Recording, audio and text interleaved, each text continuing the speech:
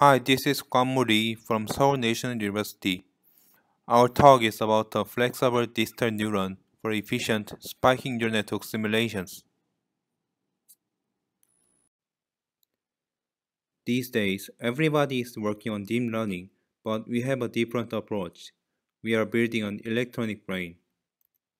If we can make an electronic brain, many wonderful things are possible.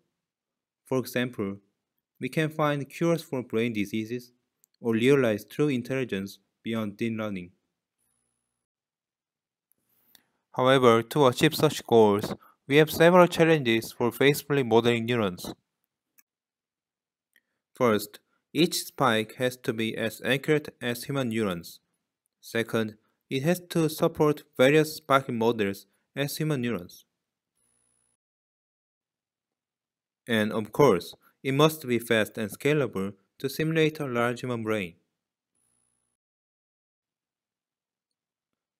But existing solutions do not solve all the challenges. Software-based methods could be accurate and flexible, but they are too slow and expensive. On the other hand, hardware-based methods could be fast and cost-effective, but their models are fixed and too simple. To address the challenges, we propose Flexon. First, Flexon achieves flexibility by combining key features extracted from various neural models. Furthermore, we can reduce the size of Flexon by spatially folding the baseline architecture. Please join our talk and we hope to see you. Thank you.